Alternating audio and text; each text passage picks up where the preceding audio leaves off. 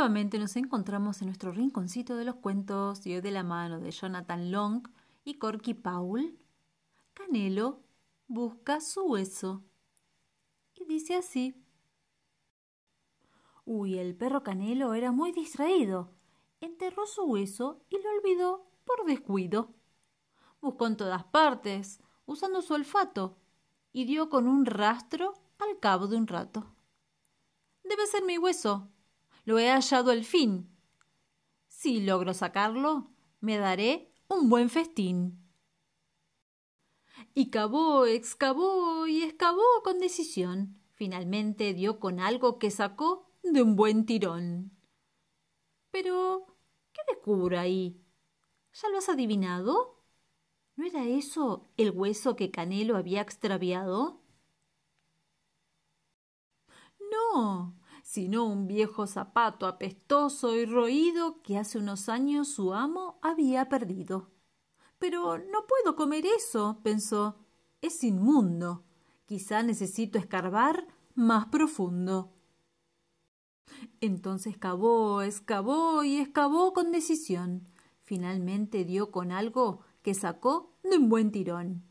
¿Y qué descubrió ahí? ¿Ya lo has adivinado? ¿No era eso el hueso que Canelo había extraviado?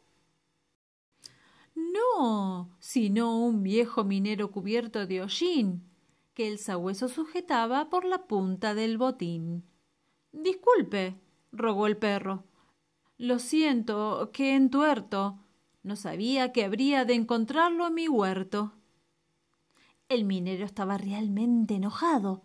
Sacudió a Canelo y lo llamó perro malo. Pero no puedo comerlo a él, pensó Canelo. Es inmundo. Quizá necesito escarbar más profundo. Y Canelo cavó, excavó y escarbó con decisión. Finalmente dio con algo que sacó de un buen tirón. Era muy pesado y mucho tuvo que luchar, porque usó todas sus fuerzas y lo logró desenterrar. Pero, ¿qué era eso tan pesado que Canelo descubrió? Era un tren subterráneo con todo y su conductor. Veinticuatro vagones pintados de blanco y rojo, conducidos por un hombre que lo miraba con enojo. ¿Pero qué estás haciendo? Esta no es mi estación, gritó el conductor con gran indignación. Eh, disculpe, rogó el perro. Lo siento, que entuerto. No sabía que habría de encontrarlo en mi huerto. Pero no puedo comerlo a él, pensó Canelo. Es inmundo. Quizás necesito escarbar más profundo.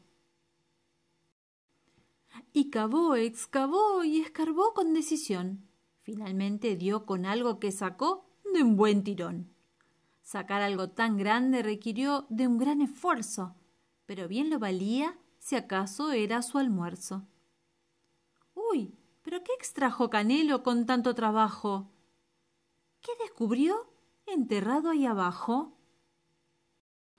¡Uy! ¡Un hueso! ¡Al fin! No, más bien un esqueleto.